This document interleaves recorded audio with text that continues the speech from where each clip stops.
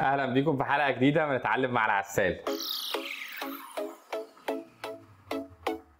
أنا محمد العسال والنهاردة هقول لك على أهم ست غلطات بيخسروك فلوس كتير قوي على فيسبوك وانت مش واخد بالك وفاكر ان الدنيا شغاله معاك تمام وشايف ان دي افضل حاجة بس لا في افضل من كده وفي احسن من كده. تعالى نتفرج دلوقتي مع بعض ونشوف إيه الست غلطات دول اللي ممكن يأثروا علينا وممكن يخسرونا فلوس كتير. أول حاجة أحب أقولها لك إن أنت بتشغل إعلاناتك بصفة مستمرة على طول.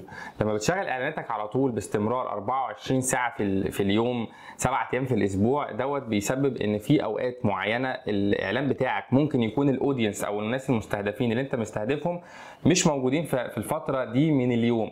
فبالتالي إعلانك بيبدأ يحرق impressions على الفاضي وإحنا عارفين إن فيسبوك بيحاسبنا دايما بال impressions يعني ال impressions هي دي اللي بيحاسب. كل ما بيوري إعلانك عدد مرات أكتر هو بيحاسبك على عدد المرات اللي إعلانك بيظهر فيها. وبعد كده بيقسمها على حسب أنت عامل optimization عليه على engagement على leads على conversion على whatever بس هو في الأول وفي الآخر هو بيحسب بيحاسبك على حتة إيه؟ ال impressions فأنت كده ممكن تكون إعلانك شغال فترة معينة من اليوم. الفترة دي ال audience بتاعك أو الناس المستهدفين بتوعك مش موجودين فيها بشكل كافي فبالتالي إعلانك بيحرق impressions على الفاضي فبيرفع لك سعر إعلانك دون استفادة حقيقية. تاني حاجة إن أنت بتشغل عدد كبير من الإعلانات في نفس الوقت بس كل واحد منهم ب budget صغيره دي مصيبة كبيرة جدا.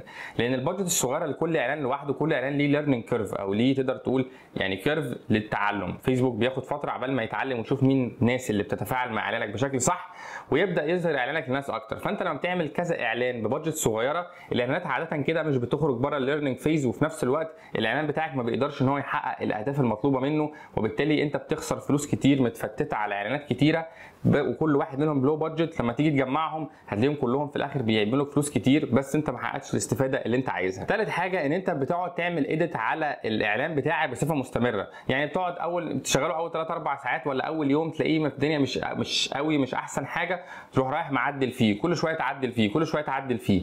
كتر التعديلات دي بيخلي فيسبوك يعيد تاني يخش في ال learning phase من الأول ويعيد تاني يجرب يجرب من الأول القصة بتاعته ماشية إزاي ويشوف ال audience بتاعه ماشي إزاي فدوت بيخسرك فلوس برضه لأن أنت كل شوية بتقعد تعيد فالاعلان بتاعك ما بيلحقش يخرج بره ال learning curve بتاعته ويوصل للناس الصح ويبدأ يشتغل بشكل كويس. رابع حاجة هي ال audience overlapping وال audience overlapping دي حاجة خطر جدا لأن أنت ممكن تكون مشغل أكتر من إعلان.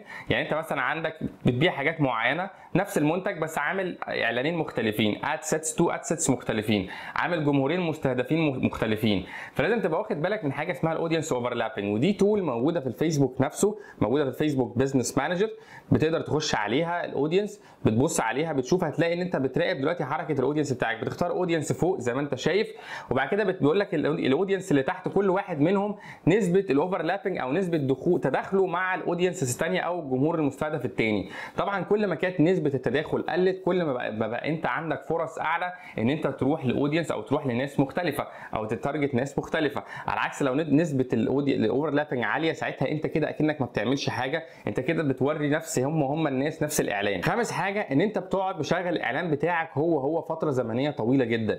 أي إعلان أو أي حاجة في الكون معروف إن هي بيبقى ليها curve بيطلع وبينزل. يعني بتفضل طالعه طالعه طالعه وبعد كده بتفضل فترة stable شوية وبعد كده تبدأ تنزل تاني.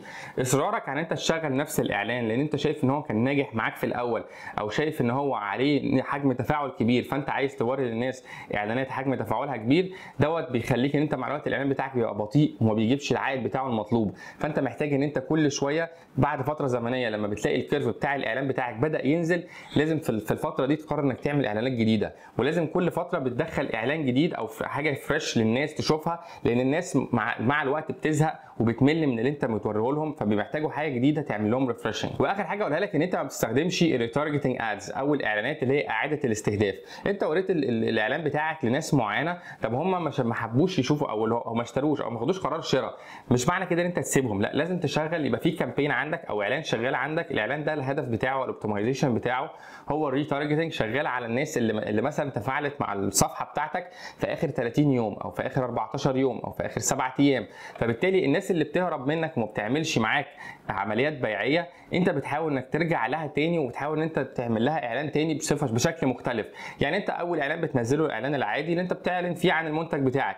ممكن تعمل retargeting campaign أو campaign تانية أو حملة تانية بتعمل بتشجعه إن هو ياخد القرار إن هو يشتري منك وإن هو هو يتفاعل معاك أو يعمل معاك حركة بيعية أو حتى يبعت لك استفسار أو أي حاجة. فبالتالي أنت كده الناس اللي ما اشترتش منك أو اللي هربت منك هي ما هربتش أنت رجعت وخدتها تاني وقدرت إن أنت تبعت لهم حاجة وتحافظ عليها ودي كده كانت ست حاجات لازم تاخد بالك منهم جدا لأن هم بيخسروك فلوس كتير قوي. لو أنت مش واخد بالك منهم أو مش شغال بشكل صحيح ممكن تكون أنت بتخسر فلوس أو ممكن تكون أنت تقدر توفر فلوس كتير قوي لو أنت اشتغلت أو خدت بالك من كام حاجة دول. واشوفكم إن شاء الله كل يوم ثلاث الساعة 8 على خير في حلقة جديدة من التسويق الإلكتروني. وما تنسوش طبعا ال like وال subscribe عشان ده بيفرق معانا جدا. وأشوفكم على خير.